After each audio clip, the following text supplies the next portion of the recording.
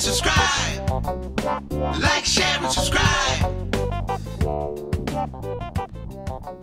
Hello everyone, drum tech drummer and YouTube educator Kenny Sharretts coming to you live from Rock Army Record Studios doing some drum tuning videos and one of the things I'm talking about in this video is home recording. Now most of us have like an eight channel interface that we can record our drums with for YouTube videos, for recording. It's pretty much the common standard that somebody has in their home.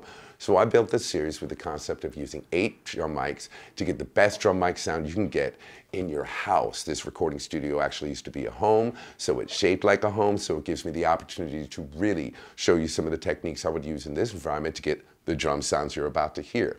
Now this topic is about overheads placement and overhead phasing, uh, which is an important topic because you want to get a good image of the kit that's easily in phase. You don't have to use too much plugins because if you start with a great sound, you end up with a great sound.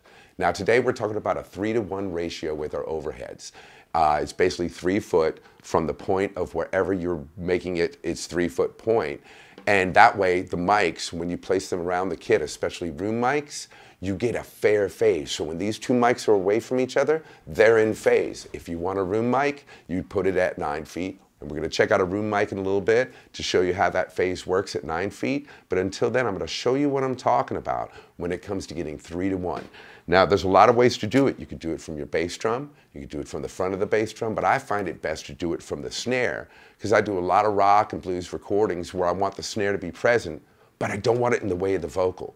So one of the best ways to set your phase with the snare and get a great sound with your overheads is do it this way, three to one. Because snare's getting everywhere, y'all. And I do mean everywhere. It's in your tom mics, your overhead mics, your bass drum mic even. It is an omnipresent instrument that competes with the vocal, especially male vocals like me. So I want to make sure I can place it well. So let's check out what it takes to get a three to one ratio from the center of the snare. All right, so I'm gonna use this little piece of tape to center up the snare drum so I can do some of these adjustments myself because I got some of the new Ultimate uh, supports mic stands that have these beautiful little levers that help me do this by myself. Now, when I say three feet from the center of the snare, I go to the center of the snare, and I'm coming up here to where basically we have three feet right at the bottom of the diaphragm. And that way I have a reference point. Now I'm gonna come on over here and check and see what we got here. I'm gonna turn this this way so you can see it. So I'm just a smidge off three feet, but because these ultimate stands have the little lever with the, with the hard side, with the flat side, I could put this bad boy right here, myself, one shot, there we go. Diaphragm, three feet, y'all. So let's go ahead and see what a room mic does with phase and without phase when we put it at nine feet using this rule. Now, if you want to see what that looks like, we're coming from the center of the snare all the way, nine feet away. And there she is over there being held by my buddy, right at the tip of the diaphragm. Yeah, nine feet. All right, y'all, so let's go ahead and do a little bit of jamming so we can get this room mic added in because we just added it in for these videos so I get to hear what it sounds like. Let's do some rocking and see what the phase does.